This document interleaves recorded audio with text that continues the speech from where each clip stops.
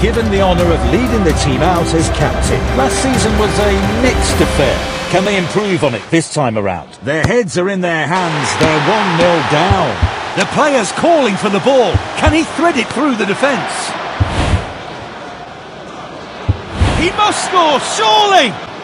Goes for it. And the score's are level now. Game on. The referee ends the match. The fans will be disappointed they only drew that game.